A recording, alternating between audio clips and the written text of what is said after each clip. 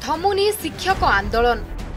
পুনি মুখ্যমন্ত্রী কার্যালয় আসিলা ডাকরা তেইশ তারিখ সন্ধ্যা পাঁচটার হব বৈঠক পূর্বর অঠর তারিখে বসিলা আন্তঃমন্ত্রিস্তরীয় কমিটি বৈঠক বারম্বার প্রতিশ্রুতি মিলুছি কিন্তু পূরণ হেউনি দাবি এবে পুনি তেইশ তারিখ বৈঠক অপেক্ষা ସନ୍ଧ୍ୟା ପାଞ୍ଚଟାରେ ବୈଠକ ହେବା ନେଇ ସୂଚନା ଦେଇଛନ୍ତି ନିଖିଳ ଉତ୍କଳ ପ୍ରାଥମିକ ଶିକ୍ଷକ ଫେଡେରେସନର ମହାସଚିବ ଚାରୁଲତା ମହାପାତ୍ର।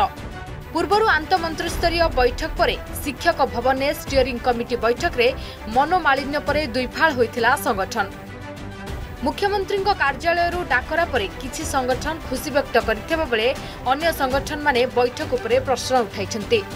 ଆମର ଯେଉଁ ଆଠ ତାରିଖରୁ ଆନ୍ଦୋଳନ ଚାଲିଥିଲା ଅଠର ତାରିଖ ଦିନ ଆମର ଆନ୍ତଃମନ୍ତ୍ରୀସ୍ତରୀୟ କମିଟି ଆମ ସହିତ ଆଲୋଚନା କରିଥିଲେ ଏବଂ ଆମ ଦାବିକୁ ପୂରଣ କରିବା ପାଇଁ କିଛି ସମୟ ମାଗିଥିଲେ ଏବଂ ଆନ୍ଦୋଳନ ସମୟରେ ଆମେ ମୁଖ୍ୟମନ୍ତ୍ରୀଙ୍କର କାର୍ଯ୍ୟାଳୟରେ ହସ୍ତକ୍ଷେପ ଲୋଡ଼ିଥିଲୁ ଏବଂ ସେହି ପରିପ୍ରେକ୍ଷୀରେ ଗତକାଲି ଆମ ପାଖକୁ ସୂଚନା ଆସିଛି ଆସନ୍ତା ତେଇଶ ତାରିଖ ପାଞ୍ଚଟା ବେଳେ ମୁଖ୍ୟମନ୍ତ୍ରୀଙ୍କ କାର୍ଯ୍ୟାଳୟ ସହିତ ଆମର ଆଲୋଚନା ହେବ ଏବଂ ଆମେ ସେହି ଆଲୋଚନାକୁ ଯିବୁ। ତେଇଶ ତାରିଖ ପାଞ୍ଚଟା ବେଳକୁ ଯେହେତୁ ମାନ୍ୟବର ଓଡ଼ିଶାର ଲୋକପ୍ରିୟ ମୁଖ୍ୟମନ୍ତ୍ରୀ ଆମର ଦାବିକୁ ବିଚାର କରିବେ ବୋଲି ଆମନ୍ତ୍ରଣ କରିଛନ୍ତି ଆଲୋଚନାକୁ ଆମେ ଯେହେତୁ ଯିବୁ ସେଥିପାଇଁ ବର୍ତ୍ତମାନ ପାଇଁ ଆମେ ଆନ୍ଦୋଳନକୁ ସ୍ଥଗିତ ରଖିଲୁ ଆମର ବିଶ୍ୱାସ ଅଛି ତେଇଶ ତାରିଖ ମାନ୍ୟବର ଓଡ଼ିଶାର ଲୋକପ୍ରିୟ ମୁଖ୍ୟମନ୍ତ୍ରୀ ଆମର ତିନି ଦଫା ଦାବି ସହୃଦୟତା ସହିତ ବିଚାର କରି ଆମକୁ ମାନିବେ ନିଖିଳ ଉତ୍କଳ ପ୍ରାଥମିକ ଶିକ୍ଷକ ଫେଡେରେସନ ଅଠର ତାରିଖରେ ସ୍ଥଗିତ ରଖିଥିଲା ଆନ୍ଦୋଳନ।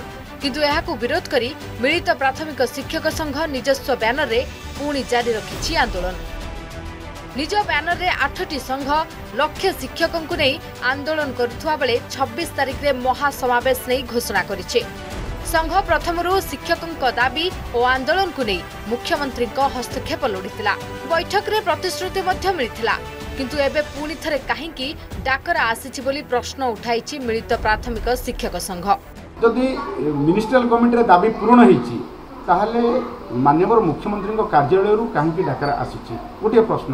ଏବଂ ମାନ୍ୟବର ମୁଖ୍ୟମନ୍ତ୍ରୀଙ୍କ କାର୍ଯ୍ୟାଳୟ ଯେଉଁ ଡାକରା ଆସିଛି କେଉଁ ସଂଗଠନକୁ ଡାକରା ଆସିଛି? ଯେଉଁମାନେ ଆନ୍ଦୋଳନ ଓହରିଗଲେ ନା ଯେଉଁମାନେ ଆନ୍ଦୋଳନ କରୁଛନ୍ତି? ଯଦି ସରକାର ଦାବି ନ ମାନିବେ ତାହେଲେ ଆମେ ଆଗାମୀ ବିଧାନସଭା ଅଧିବେଶନରେ ଛବିଶ ତାରିଖ ଦିନ ନିଶ୍ଚିତ ଭାବରେ ମହାସମାବେଶକୁ ଓହ୍ଲେଇବୁ ସବୁ ବର୍ଗର ଶିକ୍ଷକମାନେ।